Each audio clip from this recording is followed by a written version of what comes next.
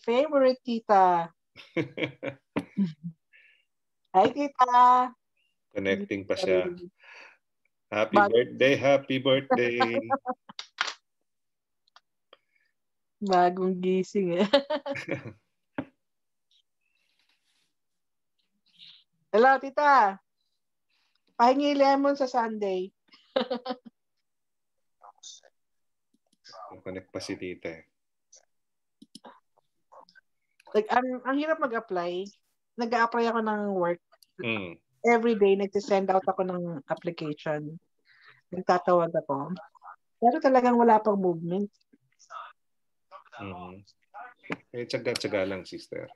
Talagang ano, talagang kailangan ng suyurin. At ang prayer talaga naman. Yes. Pag sinabing financial blessing, may dumadali talagang blessing. Ah, oo. Sigurado yan. Hindi yan mawala yan. Tita, happy birthday! Good evening, Pastor. Good evening po. Kamusta naman ang birthday nyo? Ay, stay home, Pastor. Stay home. yeah. Tita, penny lemon sa Sunday. Naku, hindi pwede si tita. hindi ba? Sisimba ka ba mo sa Sunday?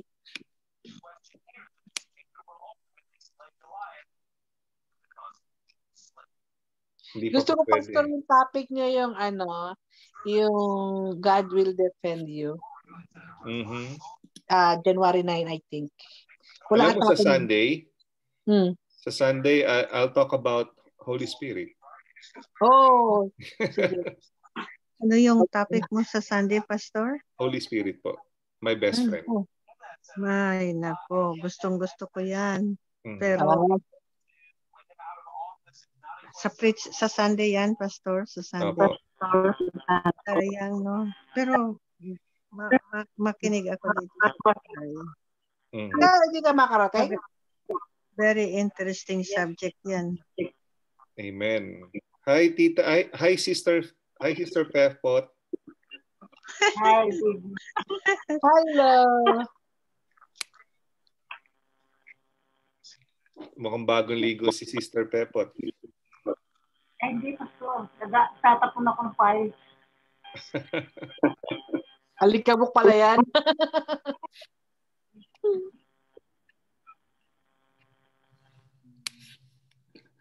Okay, manalangin na tayo habang uh, naghihintay sa iba. Sige, Sister Lenlen, ikaw na po ang manguna.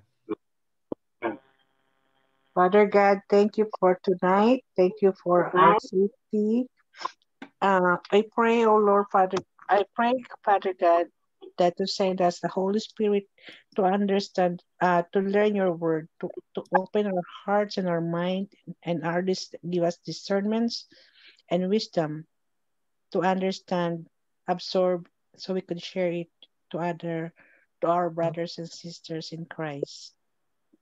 In Jesus' mighty name. Amen. Amen. Kamusta po kayong lahat?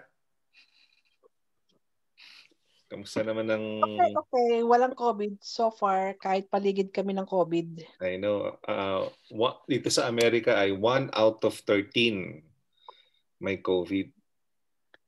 So, yung sa... mga healthy pa yung tinatama.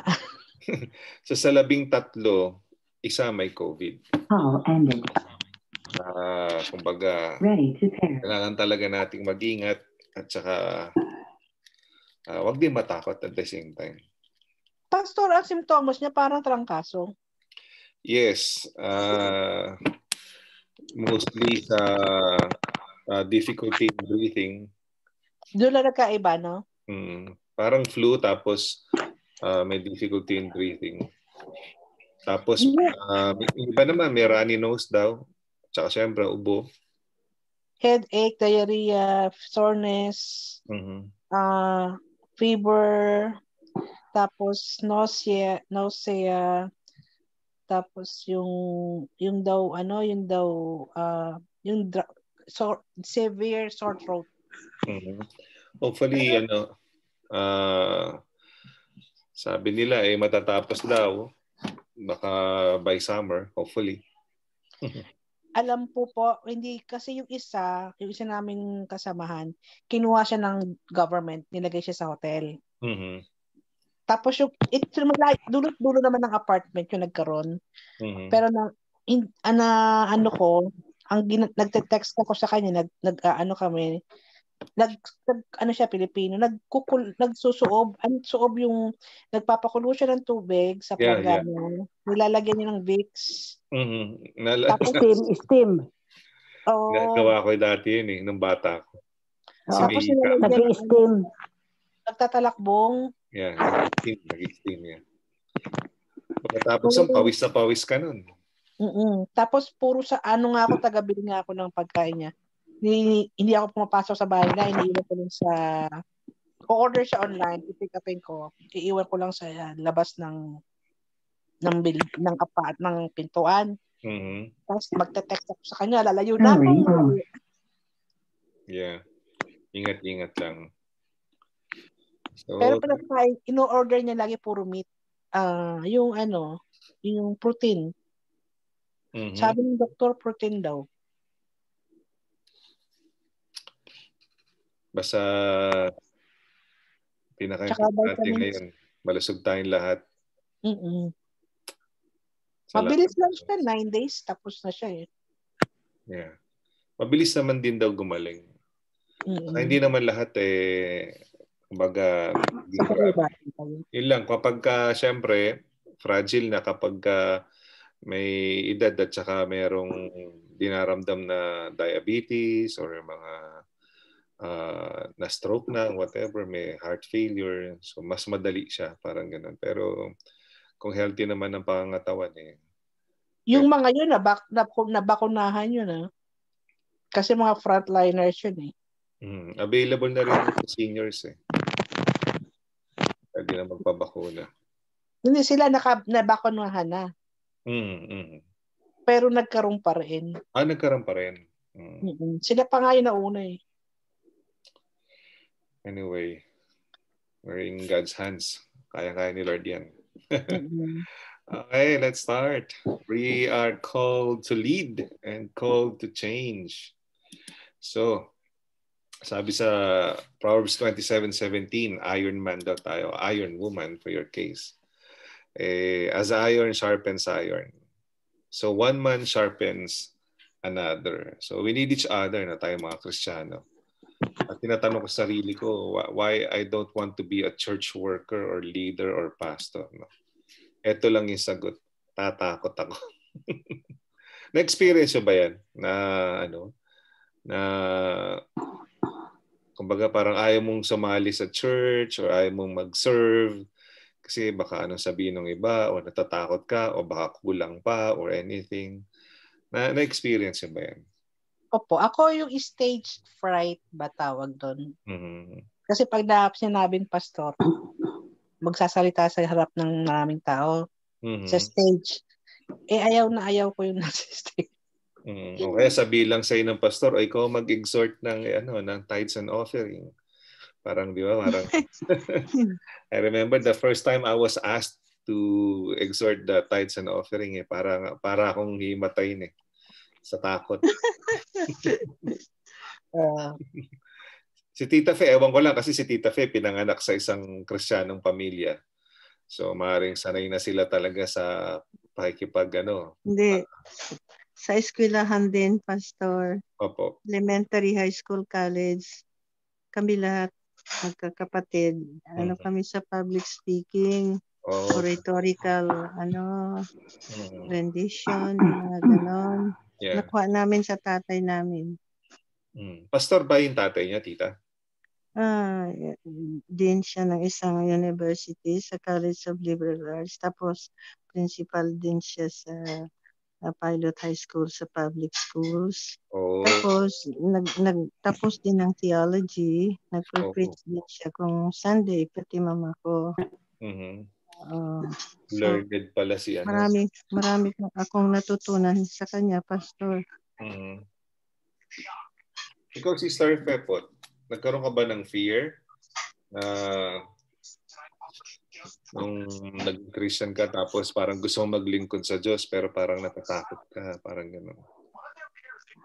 Ah, sabi nga, Pastor si Len ba yung kausap natin kanina? Si Sister Lelen po. Oo, oh, si Len. Yeah, tulad ng sabi ni Len Len, hindi stage fright, pero nasanay din ako nung kasi nung nasa New Hope, di ba? Sa board, nagsasalita kami sa stage. Mm. Unti-unti, nasanay din. Pero may takot pa rin. Yeah. Mm. Ang mas nakakatakot daw pag nawala yung takot eh. Kasi yung nag nag-rely ka na sa abilidad mo. Mm, Oo, yeah. nakalimutan ka na Pero kung contest, Diyos. Pastor, Apo. kung contest, siyempre natatakot ka rin. Mhm. Kung may contest. Mhm. Opo, ang Panahon ng gera, panahon ng gera, Pastor, maraming takot. Mhm. Sigurado. Maraming takot panahon ng gera dahil kada araw-araw eh punong-puno ng takot. Bumba. Bumba. Mhm. Tapos, Good evening, Sister Reggie. Hi, Pastor Jeff. Hey, good evening. Good evening. Pinag-usapan namin tungkol sa takot. Ikaw ba? Ano ba ang kinatatakutan mo? nung, nung una ka bang nag-serve sa Lord, eh, nahiya ka ba? Natakot ka ba? Parang feeling mo ba? Parang, ay, ba't ako? Eh, parang kulang naman ako. Saka na lang kapag ah, marami na akong alam or something. Or alam mo yun. Yung, yung nung una ako nag-serve kay Lord, parang ano, wala lang, go with the flow lang ako, Pastor. Mhm. Hindi ko alam eh. Eh, pag tinawag ka na sa ano, tipong harapan, magka-frontline ka na, di ba? Parang, Ah, oh, eh, d- dati, parang, dati board ka. Board ka ng church dati, di ba? ah, Oh, so nung kumbaga parang na-assign ka na as a elected ka as board, parang natakot ka ba or anything? ah, parang ano, ah, malaking resp- ko, Lord, bahala na kayo. Parang ano, inano ko lang din kay Lord, Mhm. whatever happen. Parang may peace. Okay. Eh, everything na nangyayari kasi Lord katulad pastor nung ano 'di ba nung kala ko nga malulos na ako noon eh. 'di ba? Nagkaroon ako ng sur 'di ba na surgery ako pero hindi naman ako napano 'di ba? Yeah. God is good. Pero nung yung sepsis po yun yun. Pero pero may peace. May takot pero Mhm. may peace eh. Yun. Yeah. Yun yung nararamdaman ko pag ano Pagkatapos ng surgery, may blessing ka pa, no? Oo nga po eh. So yun, yun yung naramdaman ko Lord. So um, umpisa, oo, meron talaga. Lalo na siguro nung pinaka naramdaman ko yun nung nalaman ko na diagnose ako na may cancer. Ah, syempre initial reaction mo matatakot ka talaga. Mhm. Talagang oh, siyempre. ina, parang wala ako sa sarili, ang dami kong iniisip. Alam mo yun? I know. Tapos ano, hindi pa nagre-rema eh. Hindi pa nagre-rema. Parang, parang lost ka. Pero pagka nag-dwell ka in His uh, presence, His promises, ay doon ka talaga titibay eh. Prayer, tapos seek yung counsel ng mga, yan, yung mga disciple, katulad ni Pastor. Talagang ano, mararamdaman mo God na nangungusap si Lord sa'yo, magkakaroon ka ng peace. Yun, parang, since then, parang go with the flow. Pero normal yun. In- Initial reaction talaga. Na Takot matakot ka. Takot kang mamatay. sa lahat ng bagay, no? Yun yata talaga eh. No? Pero, God's grace. natin yung ano, yung takot o yung fears, no? Kasi pag-usapan natin yung ano eh, yung four leadership uh, fears. Pero uh, kaya rin natin pinag-uusapan to kasi since we are in the process of uh, rebuilding the church. Pastor, Po, sige po, go ahead. How about yung takot sa dilim? Mhm. Takot sa dilim. dilim. Mhm. Meron ako niya nung maliit. Ako rin, nung bata ako eh. Takot din ako sa dilim nung, ah, nung bata ako. Kasi kung ano Hanggang ngayon. imagine ko. Hanggang ngayon, Pastor, hanggang ngayon, Pastor, takot ako dyan. Mm-mm. Takot din po ako nun sa kidlat saka sa kulog ng bata ako. Parang Ah. hanggang ngayon din. Saka yung lindol. Lindol. Lahat naman nata ng tao eh. Pag lumindol na, no? Parang yung puso mo bumababa sa tiyan mo. Parang ganun yung pakiramdam. Ayan, pinag-usapan natin yung ano, yung leadership uh, leadership fears kasi as we rebuild our church, uh, uh, nung na-revisit ko yung Nehemiah, uh, nag-rebuild sila ng walls, nauna na sila sa Israel, no? Tapos yung time ni Ezra and then kumbaga ito yung na-experience natin ngayon, we are rebuilding a church. Kumbaga, nangiinganyo tayo ng uh, ng mga tao na huminto na sa pag-upo at uh, tumayo at uh, manindigan para sa Diyos at uh, alam niyo yun, magkaroon ng uh, pagkakataon na maglingkod. Kumbaga, kaya ini-encourage natin lahat ng tao na na wag matakot, no? Kasi sabi nga ni Sister Reggie, eh, may peace kasi kinaubaya ako na sa Diyos. Kasi kung i-stressin ko yung sarili ko, eh, talagang matatakot ako araw-araw, di ba? Parang COVID na lang, katakot siya na araw-araw, di ba? So alam niyo ba, merong 500 phobias na recorded? No? Halimbawa, example, no? Alam niyo ba yung fear of marriage or commitment? Ang tawag eh, gamophobia. Gamophobia. Yung acrophobia naman, the fear of heights. Yung uh, arachnophobia, iba yun. Fear of, uh, ano yan eh, uh, spider. Ito, opidio, op, opidiophobia. Fear of snakes. Yan, meron ba kayo yan? Ako, takot ako dyan. Lahat naman tayo takot sa ahas. Ito, agoraphobia. Pastor, pa. Sige Pastor, pa. yung yung takot sa uod. Ayun, ganun din po yun. Uh, Videophobia rin po yun. Under Uod, that also. ahas, oh, anything na mukhang ahas. Takot sa ipis. Yeah, yeah. Naku, pagka dumapo yeah. sa'yo na parang kinilabutan ka. mm, so, eto po, agoraphobia, yung takot na maraming tao. Nung bata po ako, may, parang may ganito ako eh. Kasi pagka pumapasok ako sa mall, parang kinakabahan ako. No? So parang may ganyan ako ng bata ko. So, eto, pente, penteraphobia. Takot sa mother-in-law. eh, ganyan talaga. Meron. eto, mother-in-law ko to. Picture ng mother-in-law ko to. Yan. Uh, pero mabait siya, mabait siya. Uh-huh. Hindi ako natatakot dyan. Uh, pero maraming tao, no? Takot sa mother-in-law. Ito, uh, yan. If you're a servant leader of an organization, you might have experienced a twinge of everything, no? Some have lumped them together under the leader phobia umbrella. Wala yung gawagwa ko lang yun. Leader phobia. Ng madaming tao, takot mag-lead, takot mag-serve, no? Takot mag gumalaw.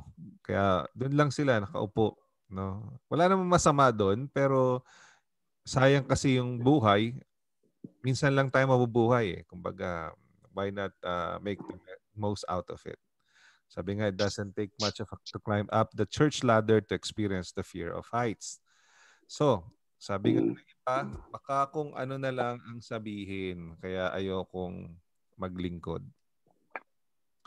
Kasi, uh, halimbawa, meron meron na meron member na mer, ang, ang members mo sa church isandaan. Ah uh, tapos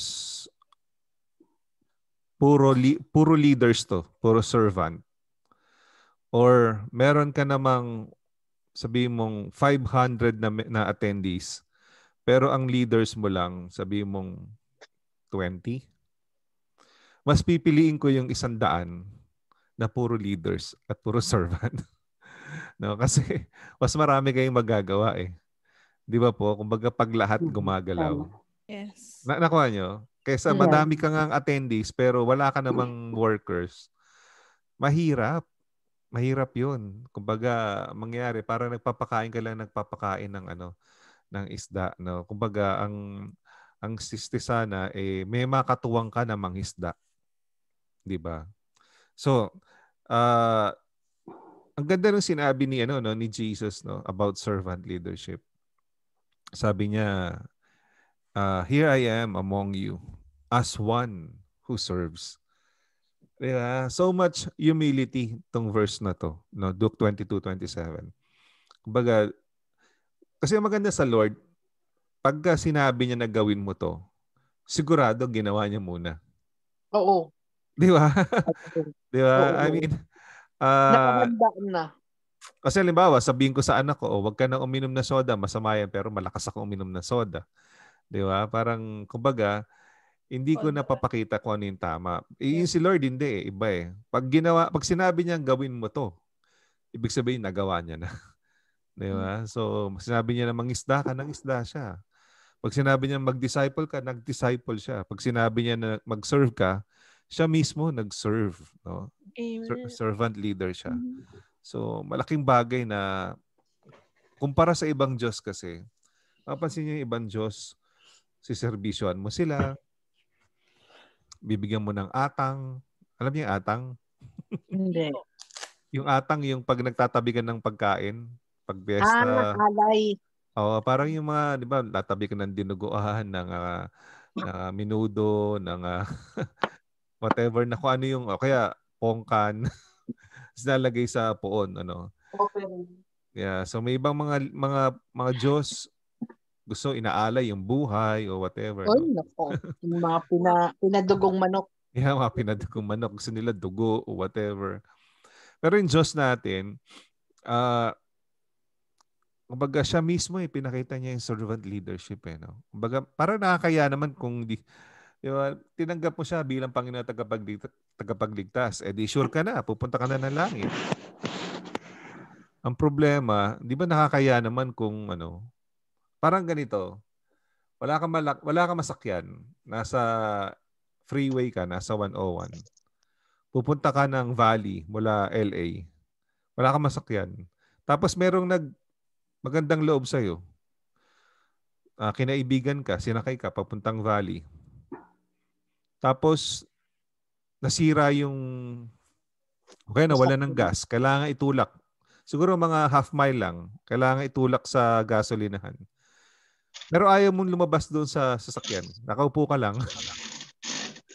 'Di ba? Yung yung yung nagbagandang loob sa iyo, nagtutulak mga half mile papunta sa gasolinahan. Pero ikaw nakaupo ka lang doon. 'Di ba pangit tingnan? 'Di ba Mm. para ang unang-una nating reaction eh bababa ka o sige tulak natin kasi nakisakay ka na nga lang, 'di ba? At least tumulong ka man lang, 'di ba? 'Di ba minsan tayo rin eh kumbaga sinagip na tayo ng Panginoon, 'di ba? O di ang ganda na ng pwesto natin, pupunta na tayo sa langit pagka tayo namatay. Pero sabi ng Panginoon, ako napakadami pang mga tao na hindi tumatanggap sa akin. Kakailanganin ko ng tulong mo. Gusto kong maging pagpapala yung buhay mo sa maraming tao. So pwede ba na maging servant leader ka rin, kagaya ko? Kasi sabi niya, Here I am among you as one who serves. Diba? Hindi naman sinasabi na gawin mo yan kasi basta Diyos mo ko, eh, gawin mo yan. Hindi eh. Siya na mismo nagsabi, no? Ako mismo, ginawa ko yan eh. So siya mismo nagtulak, kumbaga, no? So I observe there are at least four main servant leadership fears, no? Isa-isay natin. Pero bago yan, eh, basahin natin yung text natin sa gabing na to. Ayan. So, about the elders, no? about sa mga manggagawa, mga leader ng simbahan. Pag-usapan natin. Ang sinabi ni Pedro. Ayan. Kindly read it po, uh, birthday girl, Tita Fe.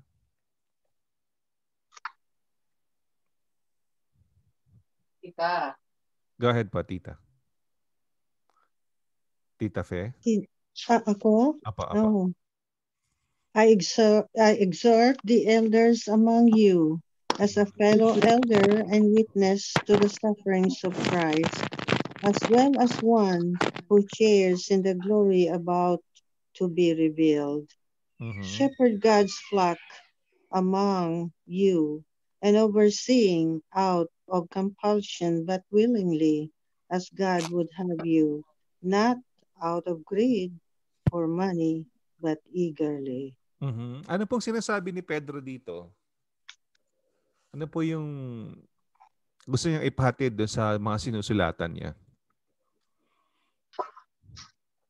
Anybody? Sino yung kinakausap niya? Sabi niya, exhort the leaders among you as fellow elder and witnesses to the sufferings of Christ. No, eyewitness sila, di ba? Sino yung kausap niya? Sino yung Sino yung Mm. ine-exhort niya? Kasi ibig sabihin na ine-exhort, ine-encourage. No? Elders of the church. Opo. Si- Sino po ba ang mga elders of the church? Disciple? Mhm, disciples ni Kristo. Yun yung mga nangunguna. No? Mm. Mm. O, sa atin, sa simbahan natin, sino ba yung mga elders of the church? Yung mga ano, yung mga yung mga members, yung mga leaders na rin. Mhm. Leaders din.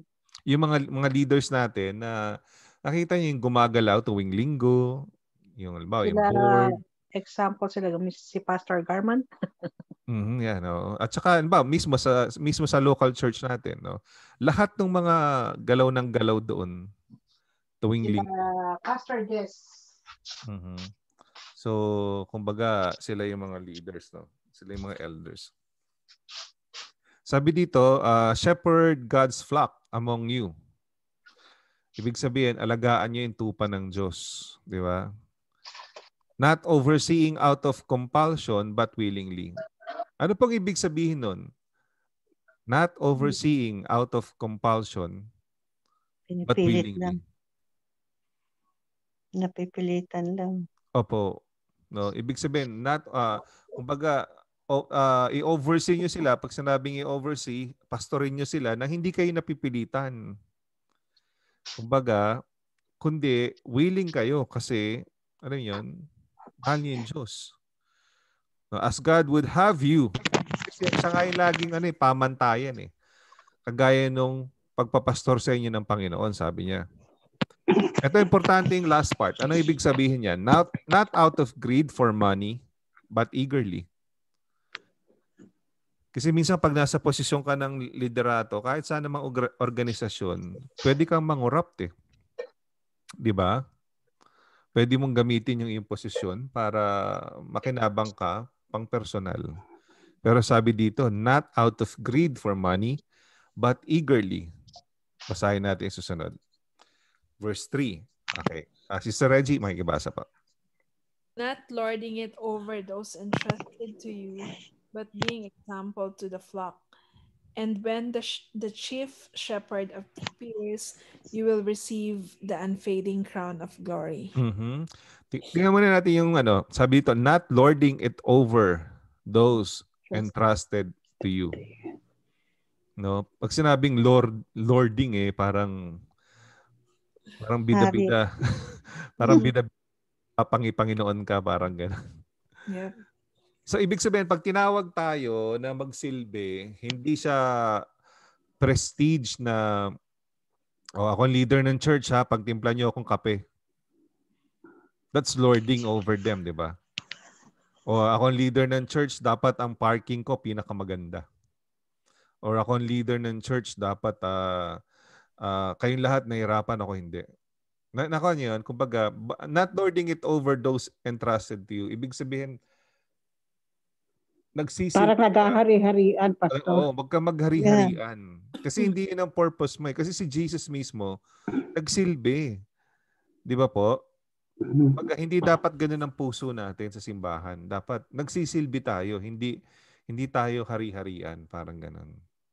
Kumbaga hindi sa kumpanya na CEO ka at ah, habang nagtatrabaho ang lahat, eh, nagpapapedicure ka. Hindi ganun. No? Kumbaga, sabi niya nga eh, but being examples to the flock na maging example tayo sa ating mga flock. Kaya kung minsan titingnan mo yung tuwing linggo natin, no, yung mga tao, routine na lang yung ginagawa, di ba? Yung parang, ano na sa kanila eh. They enjoy it. Magbigay ng, ano yun, ng uh, bulletin, mag, uh, mag, mag, bumati sa mga papasok. Ngayon, nadagdagan pa yung mamamaril ka sa ulo. Si Tep, yun ang ginagawa. si Stephen, taga-baril sa ulo eh. Di ba?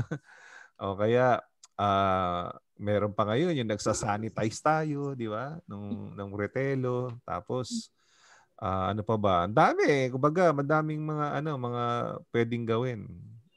At ah, mag, mag, mag, mag-aayos, magliligpit. Di ba? So, kumbaga, tayo mismo, bago tayo mag-encourage ng mga tao sa simbahan na umaaten sa atin, uy, maging worker ka, subukan mo, maglingkod ka sa Diyos. Dapat tayo, example tayo sa flock. Di ba? Kaya, eh, eh, ito, mga nandito lahat. Yan, tuwing, tuwing linggo yan. Busy ang mga... Sabi dito, and when the chief shepherd appears, no? Sino to? Ang Panginoong Christ. Kristo. Lord. Ito maganda. You will receive the unfading crown. Ayan, at tatanungin ko kayo, about every Sunday, ikaw, Sister Pefot, di ba? Nag, nagsiserve ka every Sunday. Uh, busy-busy ka, dahil mong ginagawa eh. Ah, pero ano yung, ano mo, yung, yung, yung intention? Di ba ang intention mo lang is to, it's a form of worship to glorify God, di ba? Kumbaga parang, happy ka kasi napapasaya mo yung Diyos. Tama ba ako? Yeah. Oo. Mhm. Pero alam nyo, Tsaka, no? tsaka happy ka rin, Pastor, kasi nakakapag-serve ka. Yes, oo.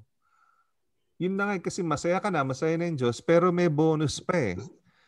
You will receive the unfading crown of glory. Yun. Hindi, ibig sabihin, hindi kumukupas. Hindi kumukupas na corona. Oh, kaluwalhatian. Yan. Lalim ng Tagalog. So ibig sabihin merong may bonus maging ano maging mag-serve sa Panginoon. Ayan. Si Sir si Sir Pepot pangibasa po. Uh, in the same way, you are younger, be subject to the elders. All of you clothe yourselves with humility toward one another, because God resists the proud, but gives grace to the humble. Mhm. So pinapangaralan naman ni Pedro dito sino itong mga ano no, yung mga nakakabata, maring siguro nakakabata sa edad or maring nakakabata in terms of uh, spiritual maturity. Maring bago lang sa simbahan or something. Sabi dito, be subject to the elders. Makinig daw sa mga nangunguna. No, all of you clothe yourselves with humility toward one another. So, kung bago ka sa simbahan, maging humble. Kung matagal ka na sa simbahan, maging humble. Kung pastor ka, maging humble. So, ibig sabihin, uh, clothe yourselves daw with humility. Kasi sabi dito naka ano, naka naka naka bold bold letters eh. Yeah. God resist the proud. No, kumbaga hindi niya inaanihan yung mga mayayabang. Pero ano ano kasunod? But gives grace to the humble. No, kinalulugdan niya yung mga mapagkumbaba. Yeah, si Sir Lenlen, conclusion. Humble yourselves, therefore, under the mighty hand of God, so that he may exalt you at the proper time, casting all your cares on him, because he cares about you. Mhm. So, paano ba maging humble? 'Di ba? You need to humble yourself daw under the hand, no, the mighty hand of God. Ano Para po? Ano po? Go ahead. Kasi po minsan, yung, yung mga ibang professionals, ayaw nila mag-serve. Mhm. Ay, hindi lang Yung- madumihan ng kamay. Ganun. Yung, yeah. At saka, napansin ko nung nag-serve, kasi nag-serve ako dyan, nagpapakain ako ng mga homeless. Mhm. Sil- Tapos kahit marusing sila si JC, pag umupo sa table, kahit na, na, na hindi ka na makahinga, kailangan umupo, hindi mo siya ihiyain. Mhm. So, you have to eat with them, although hindi naman kasi kayo share ng food, pero Mhm. yung just to accompany them in the table Mhm. is one of the, yung iba taga umaalis eh. Pag Mhm. kami nakaisang homeless na ano. So, isa yun sa mga napansin ko. Mhm. Well, depende siguro sa panahon ngayon, medyo kailangan mag-ingat din ano, kasi masyado silang exposed sa COVID. So, Mhm. Maring yun ang reason. No? Pero kung wala namang COVID, ah, nakita niyo naman sa atin eh, may mga pumapasok dati no, na mga homeless at ah, pinapakain natin at uh, pinakikutunguan naman na maayos, di ba? Minsan lang kasi ah, magdila- maglalagay ka rin ng linya kasi ah, may tendency rin mag-abuse yung iba, di ba? So, Mhm. kaya kailangan maglalagay ka rin ng ah, linya. No? Maging humble kasi, pero maging wise ka rin. No? Sabi nga eh, be humble as a dove, but ah, also be wise as a serpent. No? So, protect din yung sarili. oh, protektahan mo rin sarili mo, protektahan mo rin yung ano. No? Kasi kumbaga tayo kasi, ah, we serve mga ganong bagay, pero ah, kumbaga mapapansin nyo, eh, ang MCB nakahati sa ano yan eh, sa per cultural ano eh, uh, church eh. So mostly, pagka syempre English speaking yung homeless, eh obviously, ang makakapag-serve talaga ng mas maayos dyan ay yung English speaking na church. no At sa kanila rin syempre pum- pwedeng pumasok yon kapag na born again o gusto lumago. 'di ba? Tayo naman ang market natin ay Filipino community, yung Korean naman, Korean community, no? So, mostly kasi ang homeless, mga local dito, either black, white, or Hispanic. So, talagang ang mas active dyan yung Spanish at English uh, congregation. Pero tayong Korean at Filipino, yung mga kapwa Korean kasi natin o kapwa Filipino, hindi naman homeless.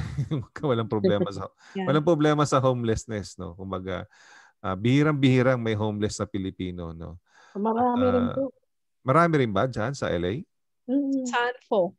Ah, sa Sanfo. Oo, oo nakita ko nga sa ano eh.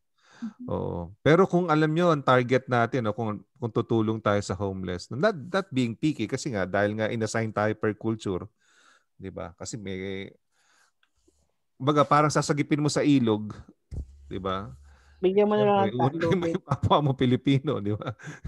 pero eh, pero hindi naman sa ano yan, hindi naman sa uh, nagiging choosy ka whatever. Pero kasi nga, since inassign tayo per culture, kung merong homeless sa Pilipino, then let's, ano, magpagtuunan natin ng pansin yon Di ba? Pero, kasi nga sa experience natin, bibihira or konti. Minsan nga wala na Pilipino na homeless.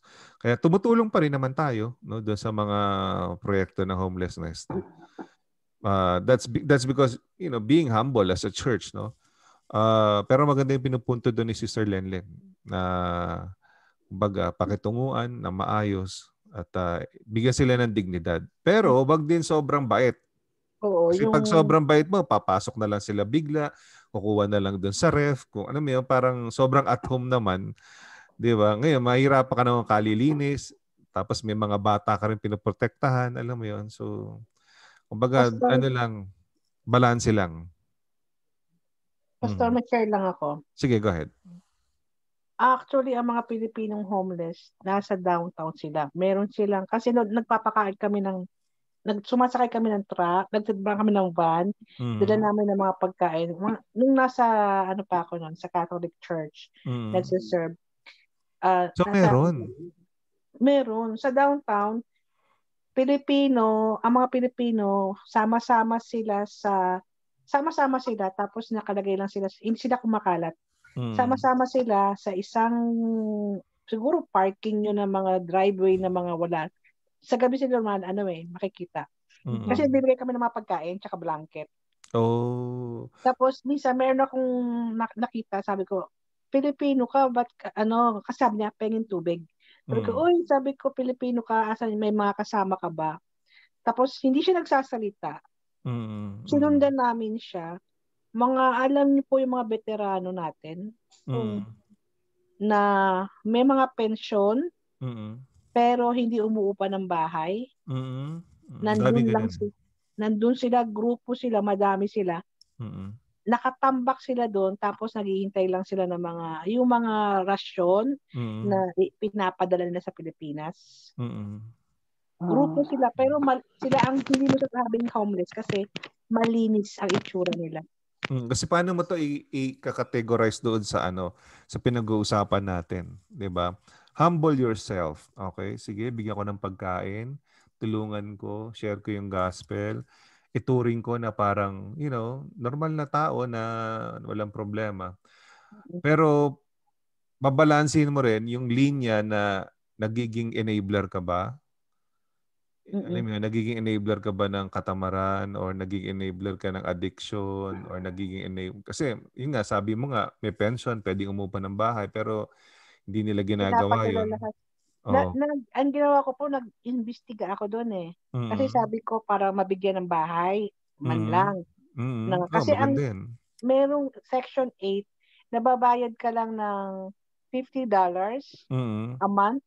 Mm-hmm. Meron kang kwarto, pero common ang inyong bathroom at saka kitchen. Oh, pero may dignidad, di ba? Oo. Pero alam mo, ayaw nila magbayad. That, that's the point. I mean, ako, uh, I won't I won't go for missions like that na magiging enabler ako kasi Mhm. uh, alam mo 'yon, uh, kasi minsan sabi no, snub naman to mga Kristiyano to. Ayan, homeless nasa tabi niyo, hindi niyo pinapansin, 'di ba?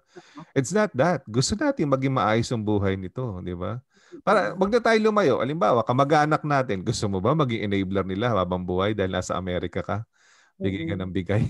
'Di ba? I mean, tumulong ka kung kailangan. Pero yung susuplayan mo, hindi na sila magtatrabaho. Sa tingin nyo ba natutuwa ang Diyos doon? Let's face it, di ba? I mean, kasi tutulo, magiging enabler ka ng katamaran. Oo. Paano yun? Parang tinutulungan mo silang maging tamad. Yeah, kasi tayo, tatrabaho tayo, sisikap tayo. Kasi yun yung kailangan, yun nasa Bible eh. Ngayon, pagkabigay ka lang ng bigay sa tao, tinuturuan mo silang maging tamad. Di ba? So, maaari, puntahan mo isa, pero pagka ay mag talagang, alam yun, wala kang magagawa eh. Hindi mo pwedeng pamuhay yung buhay ng ibang tao eh. Mm-mm. Pero at least, naging humble ka pa rin. Alam mo yun, binigyan mo ng pagkakataon, di ba? Binigyan mo ng ano. It will always be a choice.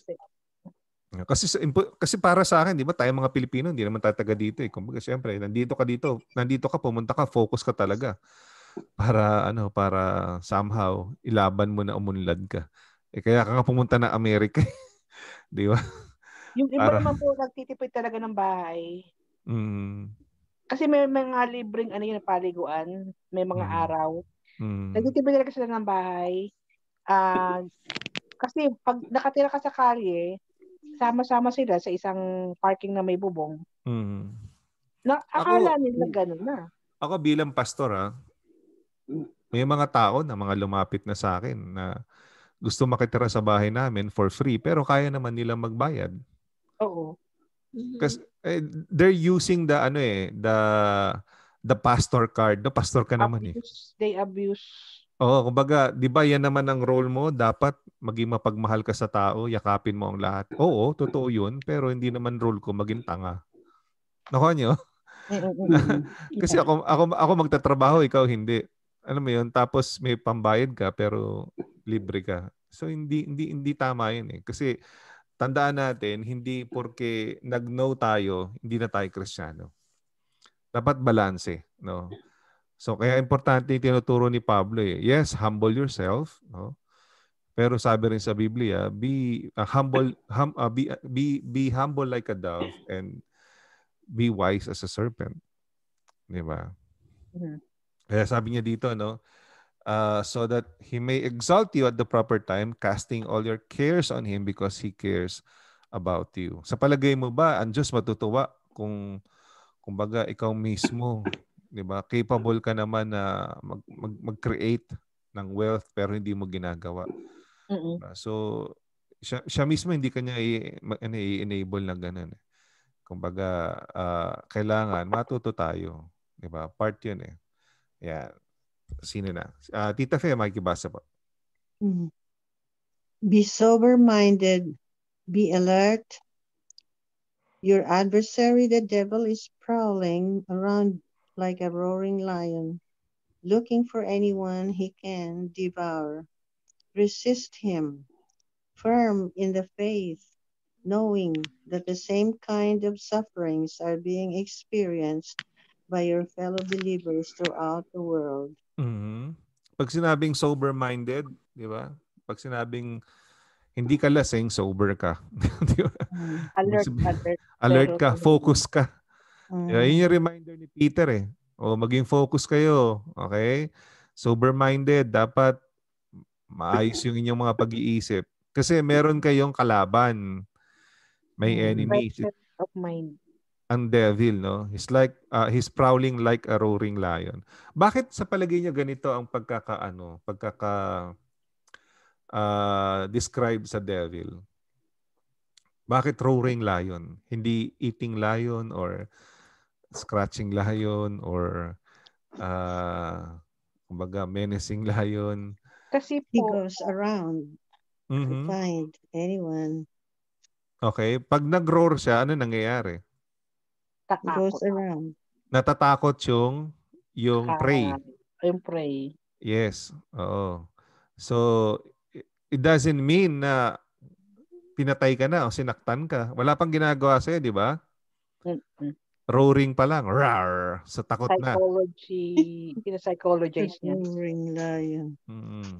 Alam niyo na- ba nasa ah ayon doon sa ano no sa mga videos ng mga National Geographic, 'di ba?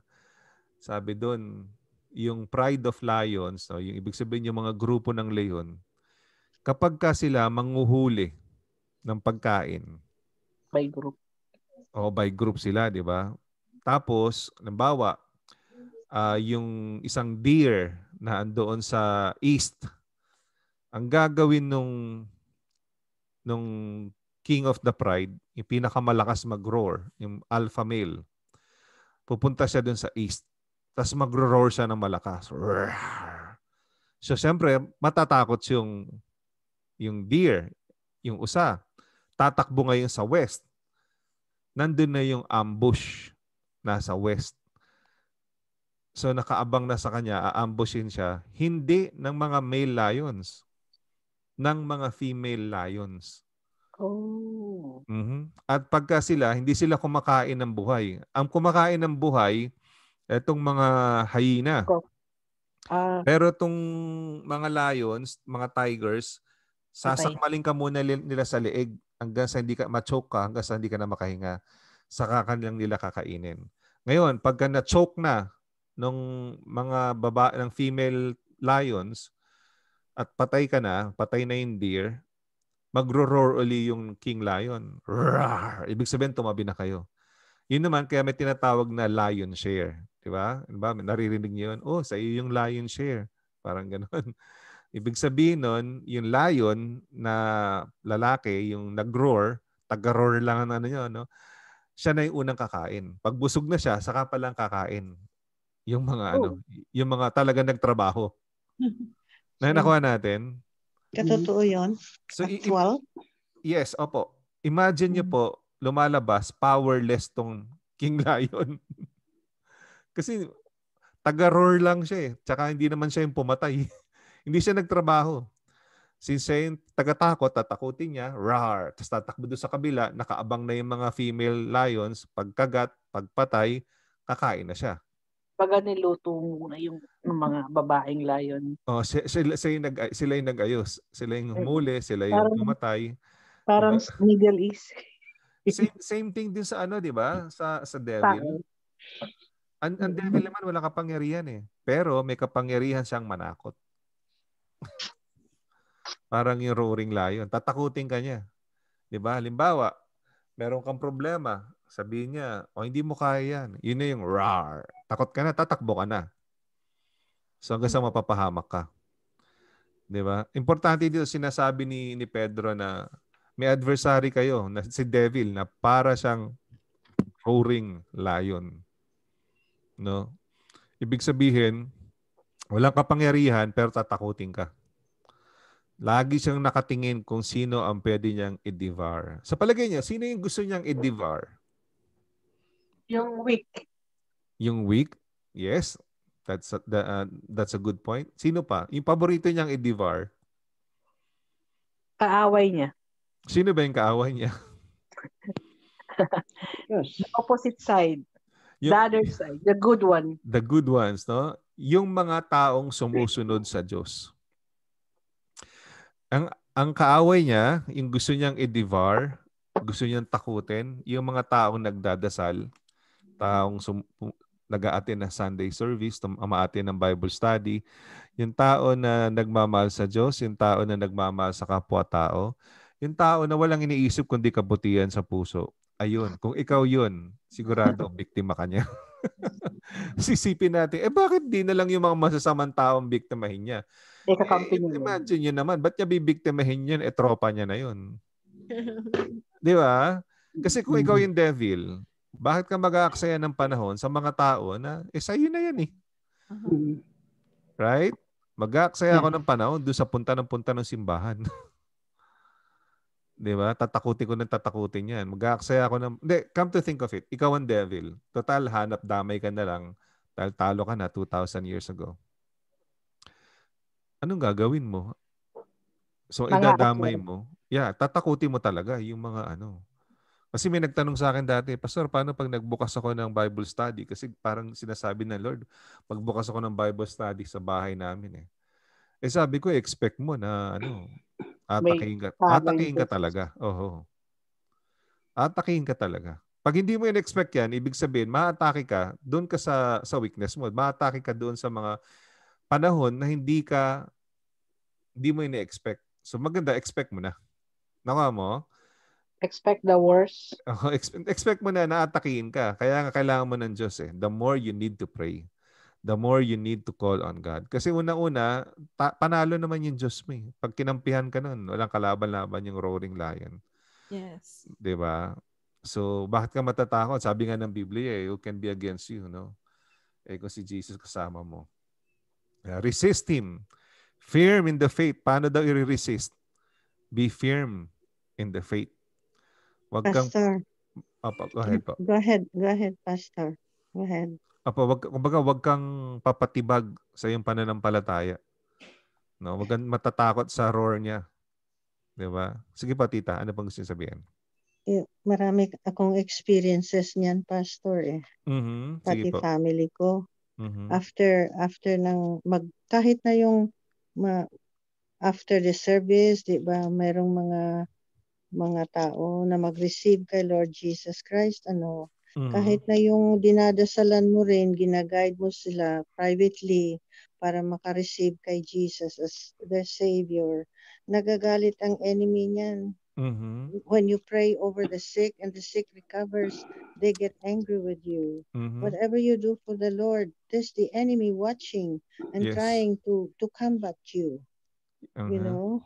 Totoo 'yun. Kaya, kaya ma- masabi ko, Pastor, marami na akong experiences sa yung ganyan. Kahit Mhm. na sa, sa family, in, inaatake nila. Yes, Mhm. that's true. One, one time, the most that I will never forget, yung nag nag-ano kami doon sa sa mga ah, medyo malapit sa mga mountains pastor doon sa city namin. Mhm. Merong mga Muslims dalawa, dalawang Muslims na nag-accept kay Lord Jesus, you know. Mhm. Ah, tapos eh pag sa araw 'yun, buong araw maghapon kami doon nag-ano gumagawa ng mission, nagpre-preach, nagpre-pray sa mga may sakit na ang lalaki ng mga liig nila, yung goiter, ang Goiter, lalaki yeah. pastor. My first time to see yung goiter galing sa liig hanggang sa sa pusod, sa na- navel. Oh, Ang haba-haba.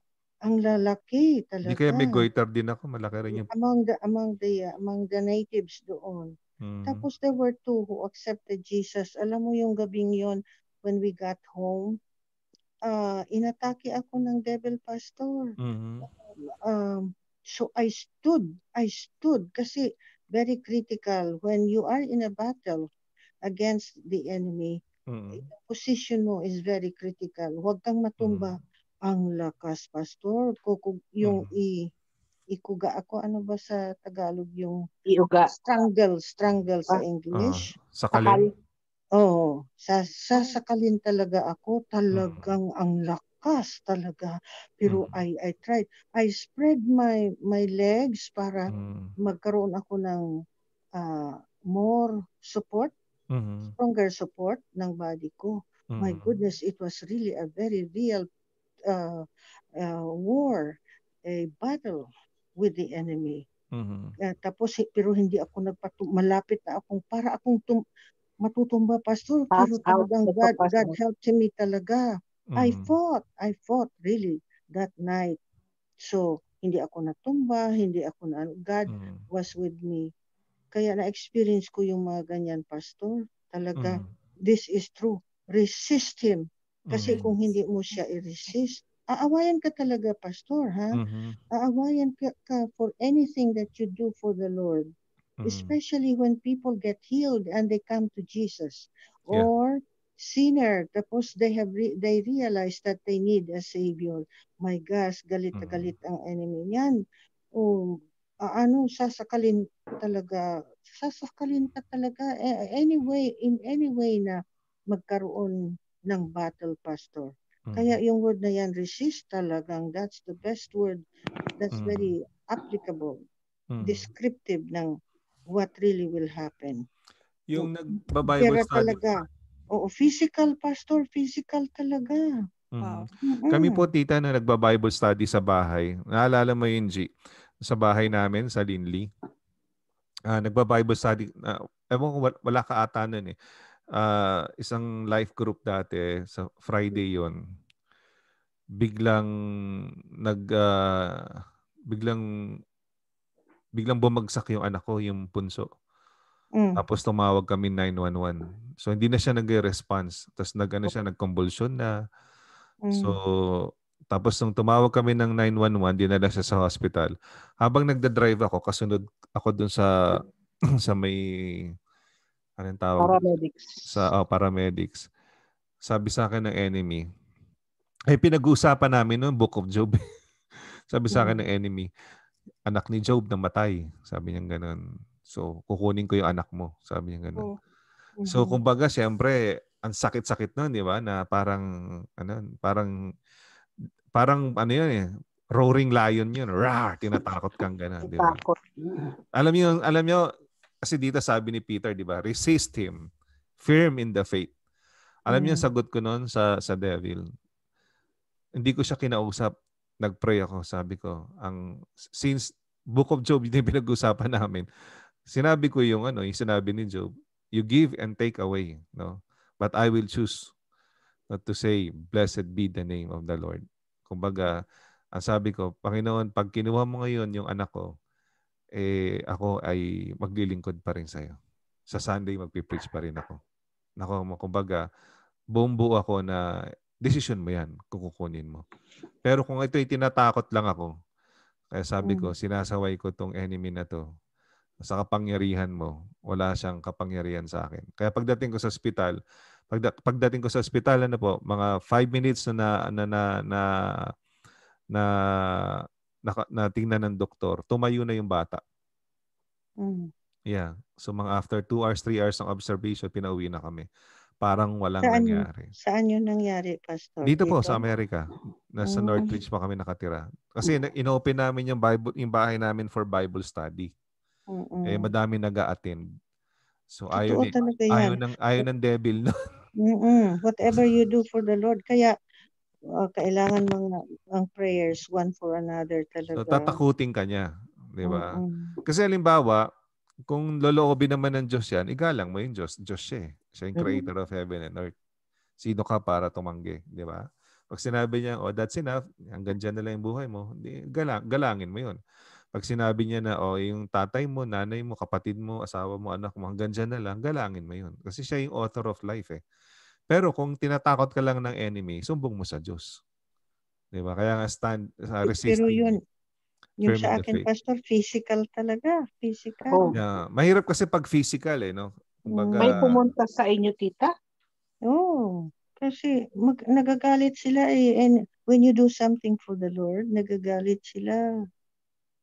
Mm. Mm-mm. Meron namang assur- may, may assurance dito si Peter sa last part, sabi niya, knowing the same kind of sufferings are being experienced by your fellow believers throughout the world. So hindi ka nag-iisa. It's Mm. normal, kumbaga, Yes. na Yes. ma-experience mo yan. Kasi nga, eh, Mm-mm. napakailaman mo yung teritoryo niya eh. Kumbaga, ah, Kaya, Pastor, uh, I, I have made it a habit to pray for pastors like you, mhm, mga mga workers, leaders of the church, because mhm. there's that kind of temptation, yeah, you know. That's the best gift. Pray. Yeah, we need to pray for Mhm. one another because uh, the enemy is there all the time watching. Mhm. There was a time na uh, I told my pastor before sa Pilipinas, sabi ko sa kanya, na I, I there was a point uh, in time na I prayed more no about him sa Panginoon kesa I prayed sa asawa ko. Mm. Kasi alam ko yung need niya. Dahil madami siyang battle. Alam mo yun, na ano, kumbaga, ah, madami siyang, madaming sibat na na bubulusok papunta sa kanya. Dahil syempre, pipigilan ka ng Diyos eh. Na kanya. Tayo sa LA, we are rebuilding LA. Expect nyo, pipigilan tayo. 'Di ba? Didepensa yung ano. Alam nga, papaisko rin tayo ng papaisko rin. Mm. 'Di ba? So, kumbaga, maging ready tayo at magtiwala tayo sa Diyos. 'Di ba? Yan. Sister G, makikibasa. The God of all grace, who called you to his eternal glory in Christ, will himself restore, establish, strengthen, and support you after you have suffered a little while. To him be dominion forever. Amen. Oh, 'di ba? Ang ganda. To him. ang ganda ng assurance, 'di ba? Amen. Mm. The God of all grace na tumawag sa iyo no, sa eternal glory in Christ. Eternal glory in Christ. Sabi, will himself restore you. Hindi hindi siya magpapadala ng ano ha, ng angel ha. Siya Mm. mismo ang magre-restore sa iyo. Okay, pag kinabog ka ng enemy. And support. He will establish, he will strengthen and support you. After you have suffered, ano sabi? For a little while. O sandali lang, hindi ibig sabihin na ano na habang buhay mo na dadanasin 'yan. 'Di ba? Kasi nga tinatakot ka lang ng enemy. Kasi nasa kanya ang dominion forever and ever. Amen. Yes. Amen. So tandaan niyo lang nakasangga tayo dun sa bida. Amen. Okay? So sa lahat naman ng pelikula, hindi naman nananalo ang kontrabida. Di ba?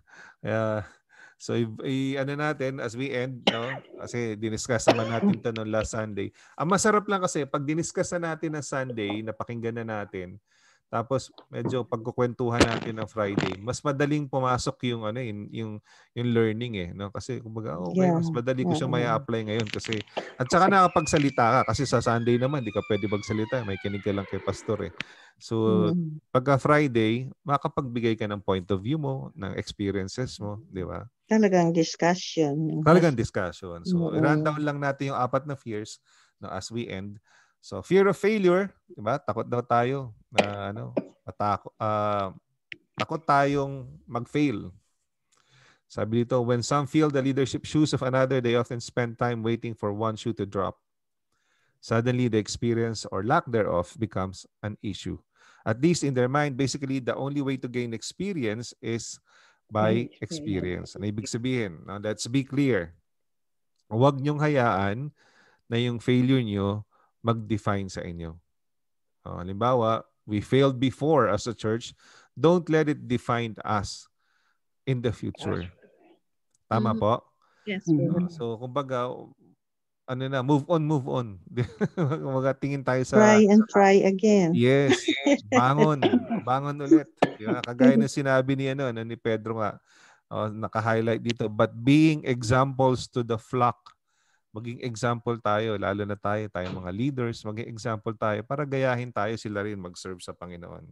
Kaya nga, when the chief shepherd appears, you will receive the unfading crown of glory. Yun yung bonus na pinag-uusapan natin. Tandaan nyo, God opposes the proud, but gives grace Grace. to the humble. Mhm. Pangalawa, una, takot daw tayo na mag-fail. Criticism. Ito, takot naman tayo sa criticism. No? Meron ako sa inyong good news at bad news. Di ba? Oh. Kasi pareha siyang good news at pareha sa bad news eh. Kahit na anong gawin mo, gumawa ka ng mabuti o gumawa ka ng masama, ikikriticize ka pa rin. Di ba? Mm. Eh di gumawa ka na lang ng mabuti. Di ba po? So, there will always be critics. Hindi talaga nawawala yan. Ang gawin mo daw, mag-establish ka ng dialogue sa mga nag-criticize sa'yo. No, gain their best practices from their knowledge. Kasi ibig sabihin naman, minsan, hindi naman ibig sabihin na kinikriticize ka dahil galit sa'yo. Baka gusto lang naman talaga magkaroon ng pagbabago. Diba? Magkaroon ng changes para sa kabubuti nating lahat. At ah, kung kukunin mo yung best practices na yun, kadalasan daw, nagiging kaibigan mo yung critic mo. At pag nangyari yun, mas magiging powerful kayo sa ministry. Tandaan niyo si Jesus, madami siyang critic, pero naging kaibigan niya. Sample, si Pablo, kritiko niya yun. Di ba? Pero nung si Pablo, na-realize na si Jesus eh talagang Panginoon, di ba, sumali siya. O di naging kasama niya sa ministry. Kundi dahil kay Pablo, eh mapapansin, kumbaga, binigyan niya ng pansin ng mga Gentile. Eh tayo yun. Di ba? Imagine nyo dito, di ba? Ang ganda ng example na ginawa ni Jesus eh. Ano yung storya? Hinugasan niya yung paa ng mga disciples niya, di ba? Sabi niya, you call me teacher and Lord, and so and you are right, for so I am. No? Sabi niya dito, if then you if, if then your Lord and teacher, no kung yung Panginoon nyo at saka yung inyong mangangaral ay hinugasan yung mga paa nyo, eh di ba dapat ganun din ang gawin nyo? Kumbaga, nandun yung humility, di ba? For I have given you an example. Ako mismo naging example. Ito ang tanong. Paano may criticize yung tao na humble? Di ba? Di ba? Halimbawa, halimbawa uh, may ginawang mali si si Reggie kay Tita Fe. Tapos galit na galit si Tita Fe kay Reggie. Tapos nakita niya, Reggie, halika dito, mag-usap tayo. Tapos ang unang sabi ni Reggie with all smile, Tita Fe, sorry po, nagkamali ako, hindi ko to nagawa or ano. O paano pa magagalit si Tita Fe nun? Di ba? Kasi mm. nag ka na eh. Subukan mo magmataas, ikaw na ang mali, magmataas ka. Ako lalo magagalit sa'yo. Si Jesus kasi, pinakita niya kagad na yung humility. Kaya talagang mahirap siyang i-criticize eh. So natakot tayo daw, kaya walang, kaya konti lang ang servant, leaders sa simbahan. Takot daw tayo mag-fail. Takot tayo ma-criticize. Pangatlo, takot daw tayo kasi kulang daw tayo. We are not good enough. Naniniwala ba kayong we are not good enough? Kung ikaw ang Diyos, gagawa ka ba naman ng kulang-kulang? Hindi, syempre, di ba? Lahat tayo may specific. But how about Moses? Yan, ang gifting. si Moses. Yeah. Uh, si, si Moses, si Moses po ba? Sabi niyo? Yun po. Opo. Si Moses, uh, sabi niya, utal-utal ako, hindi ko kaya magsalita sa maraming tao, mahina ako sa public speaking. O, oh, strength ni Aaron yan. Sige, Total, magkapatid kayo, ipapartnerin ko kayo, sabi ng Panginoon. Di ba? Kung mag, mag, mag, matakot, kumbaga, laging may nakabackup sa'yo. Di ba? Kumbaga, ako eh, masayang masaya ako, napapalibutan ako ng mga supportive na leaders and workers sa simbahan. Kung wala yon ay hindi ko kayanin mag-isa. Himatayin ako tuwing linggo. Matuto daw tayo kay Mary. Di ba? Si Mary kasi wala siyang takot sa criticism eh. Kahit na bata siya, kritis, na-criticize siya malamang. Bata-bata pa, buntis ka na, wala ka pang asawa. Di ba? O, hindi siya natakot doon. Hindi siya nahiya. Sabi niya, biro mo, supernatural, makikita mo yung, ano, yung angel. Sasabihin sa'yo, no? Do not be afraid, Mary. No? Ikaw yung pinili ng Diyos na maging anak, maging ina ng ano ng Diyos. Fear of inadequacy, yun nga, bata na siya, babae pa siya. Parang kulang, no? Sa panahon nila, parang kulang yun eh. At saka fear of change. Lahat yan, nilagpasan niya. Kasi siyempre, madaming changes sa buhay niya. Magiging nanay siya, magiging asawa siya. Hindi lang siya basta nanay, nanay siya ng Diyos.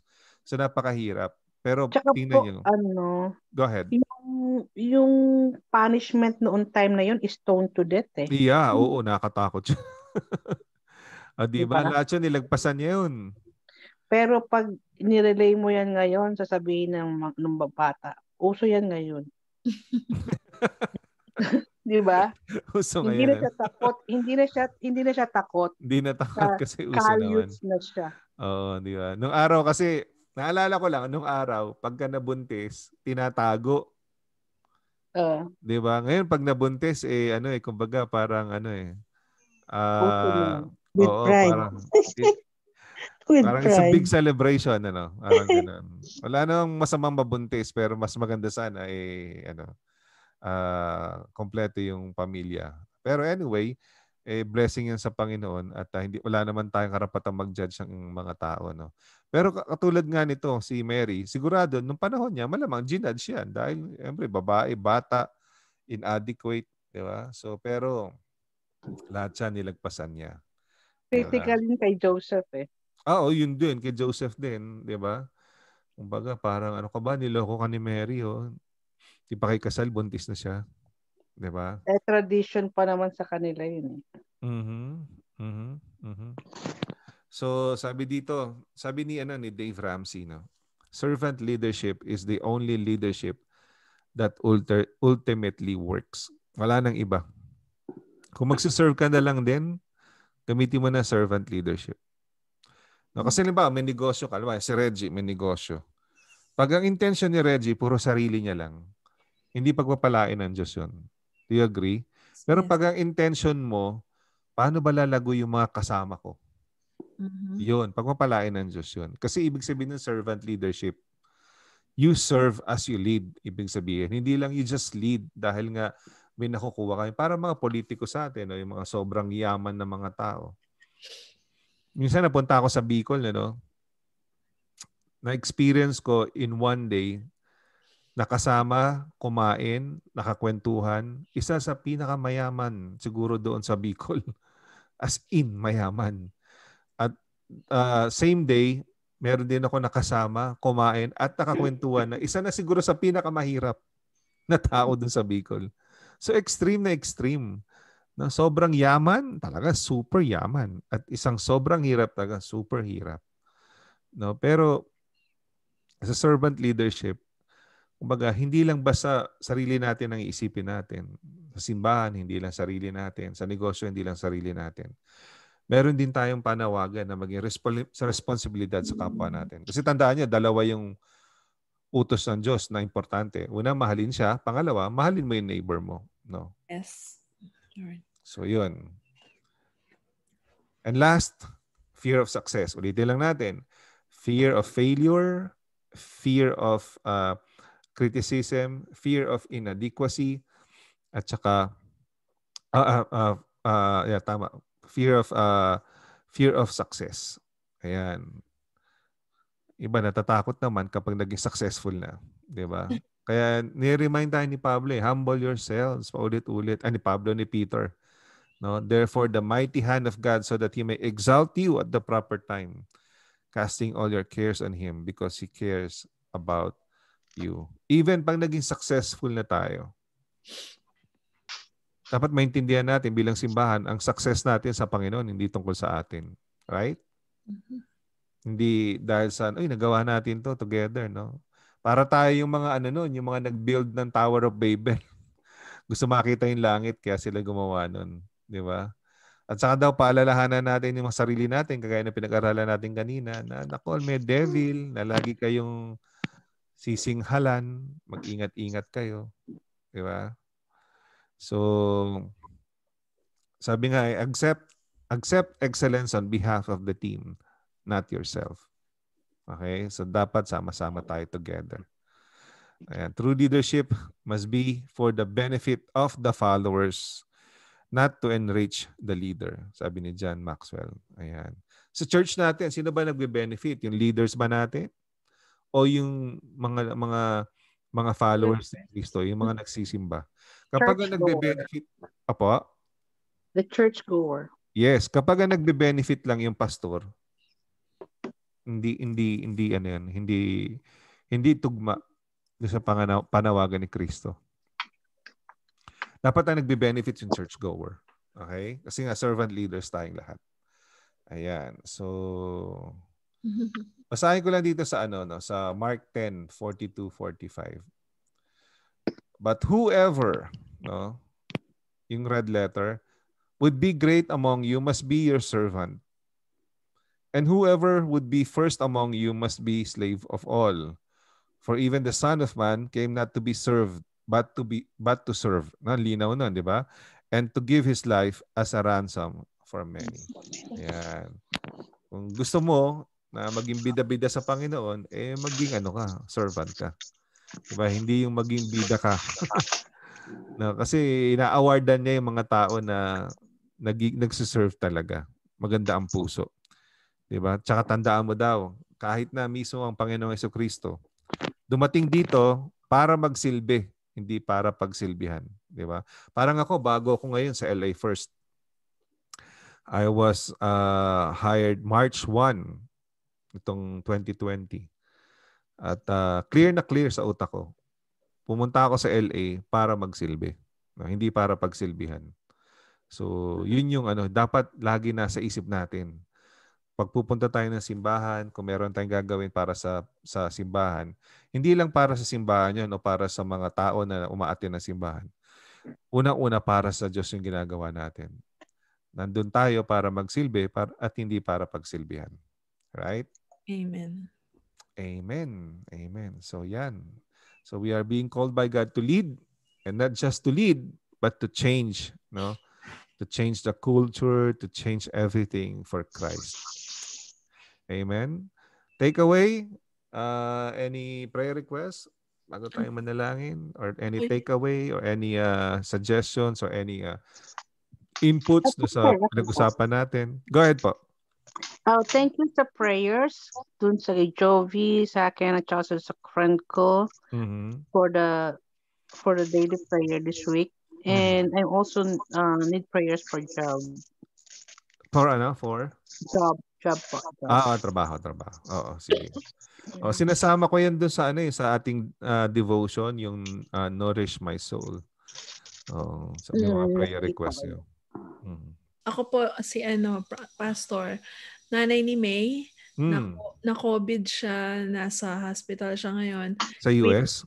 Oh, dito, nandito siya sa San Antonio. Hmm. Critical siya, Okay. um, naka high flow oxygen. So, kaya ano, Okay. prayer Sige, lang. panalangin. ang ano nun, Ano na- pangalan niya? si Tita Letty, Mhm. sabi niya, doblehin niyo pa yung dasal niyo. Hindi daw makahinga, sabi ni May naka-oxygen. Okay. Ano? Ano yun eh, um, kay, ano lang po yun, na asymptomatic ang nakahawa. Oh. Walang symptoms. Sige, Ano? panalangin natin siya ngayon mismo, no? Ah, pagkat ah, ah, as we end yung ano natin. So, Opo. si Tsaka Si- protection po natin lahat. Nanay Letty, okay, na mami ni. May. Oh. Okay. Anything else na ano na ah, any any inputs or any uh, take home sa pinag-usapan natin or any gusto niyo idagdag?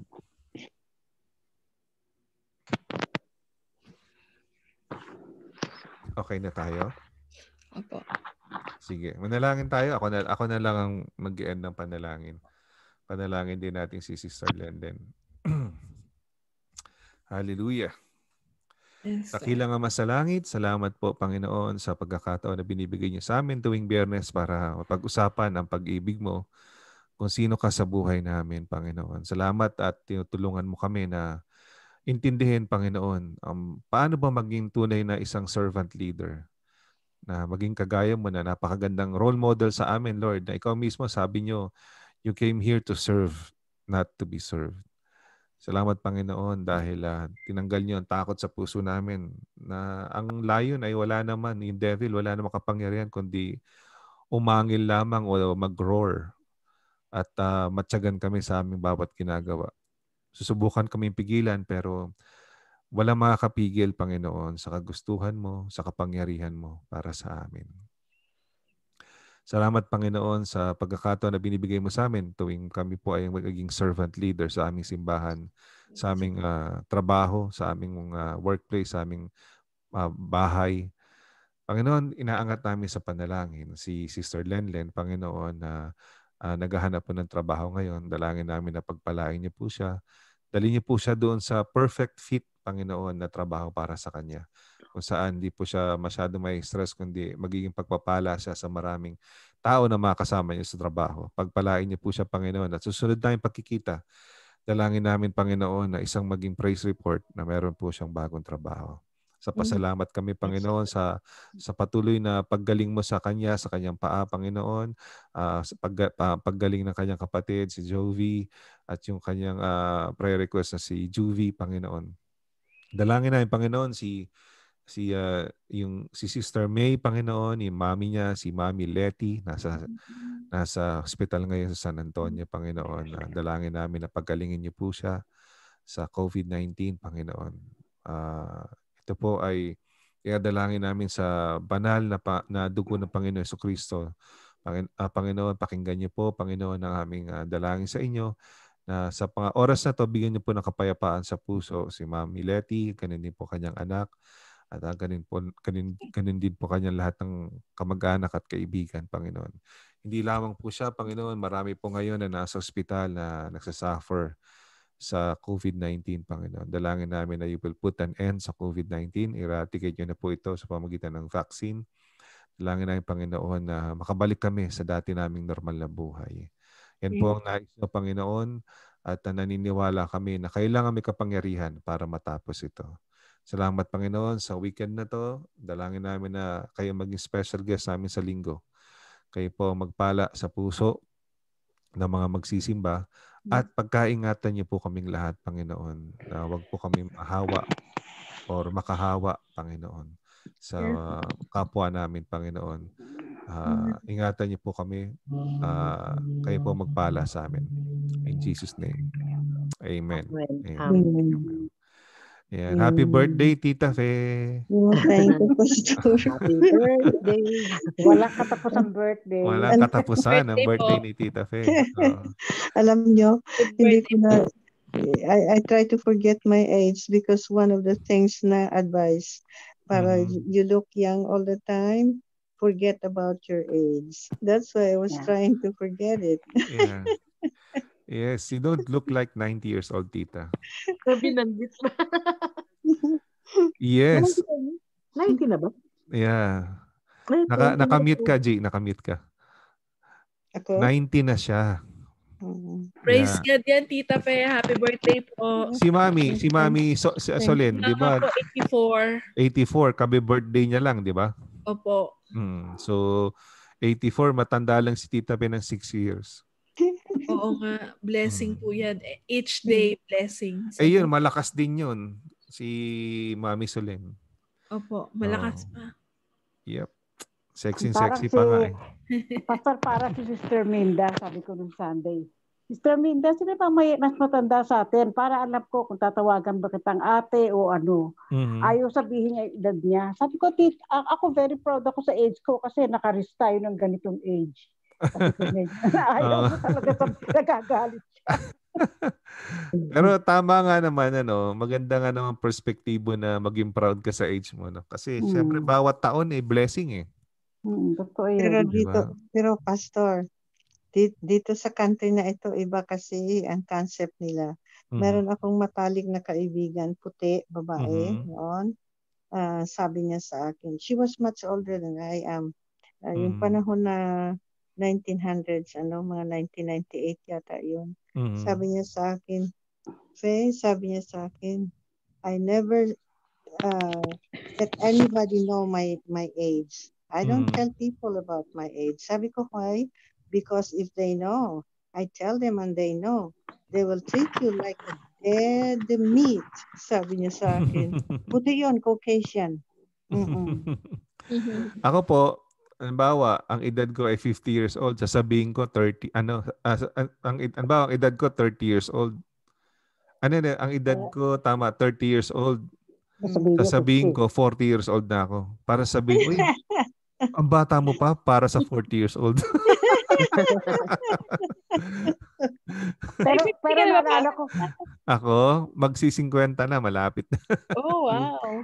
Hindi. Pero pastor, naalala ko nung college, yung professor namin sa personality development yata yun. Sabi niya, dalawang question lang daw wag, itat- wag nating itatanong sa tao kasi may Mhm. offensive tsaka unethical. Mhm. Yung magkano income mo tsaka ilang taong ka na. Oh, may pangatlo po yan. Ano po? Anong timbang mo?